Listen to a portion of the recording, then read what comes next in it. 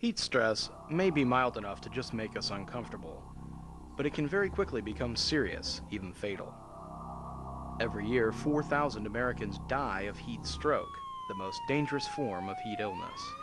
Heat stress is a problem in hot weather or in hot confined spaces. It can also develop in mild weather, when workers wear personal protective equipment that interferes with the body's ability to cool itself by sweating.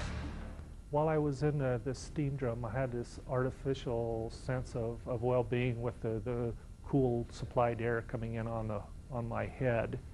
And that was part of the problem. My head felt like everything was okay, but the rest of my body was gradually heating up.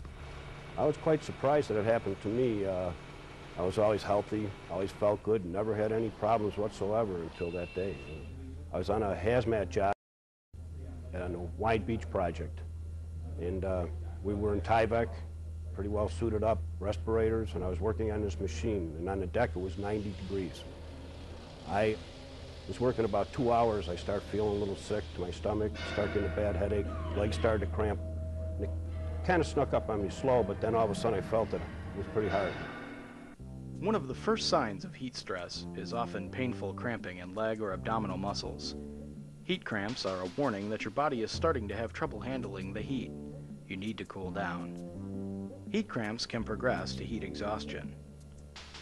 Heat exhaustion develops when the body begins to lose its ability to get rid of the heat building up inside.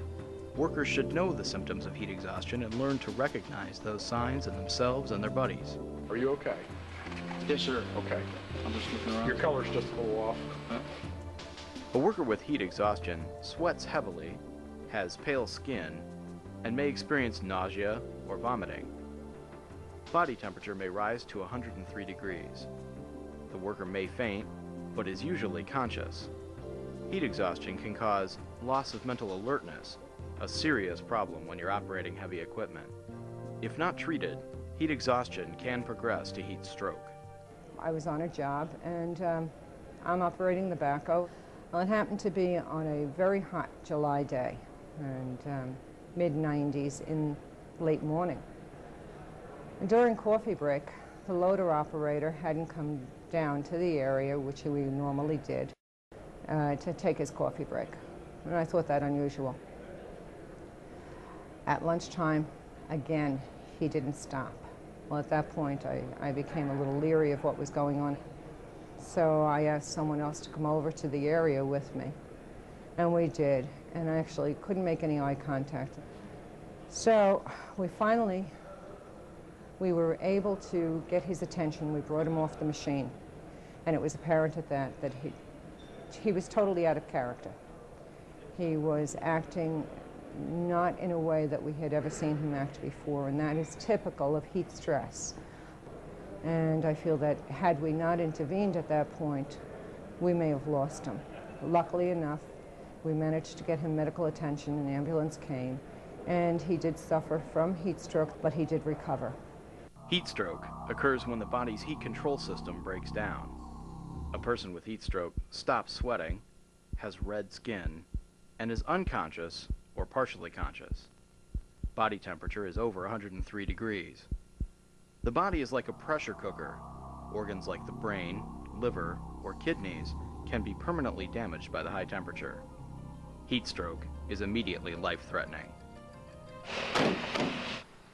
When heat stress is likely to be a problem, drink plenty of water before you feel like you need it.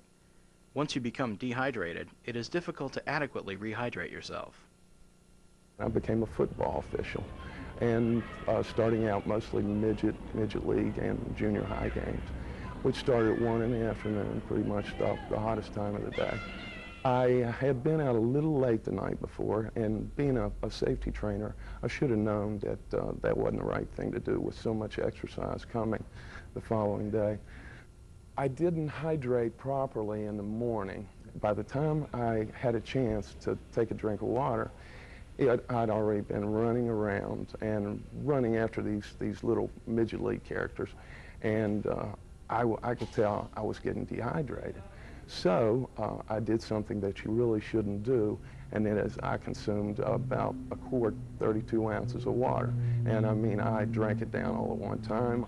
Next thing I knew, I was throwing up profusely. I had advanced heat stress.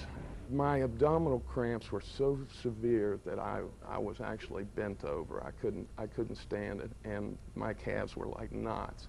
During the 1967 war, the war in the Middle East, the Israelis used the overdrink method, four to six gallon of water a day. They never lost a man to heat prostration. The Egyptians and Palestinians and other forces who were against Israel lost up to 20 percent. Now I know that most operating engineers do not work in a desert environment, but in the summertime when the temperatures run 90, 95 degrees, humidity's running about 90, 95 percent, if you do not drink water, you're not going to last. When work involves heat stress conditions, employers should have a heat stress plan. They should educate workers on what they can do to protect themselves. Workers should be allowed to become acclimated to the heat gradually and to take sufficient rest breaks. And a lot of foremen out there, they want you to go, go, go. You need to slow down your pace. Drink your water, take your time, and be safe.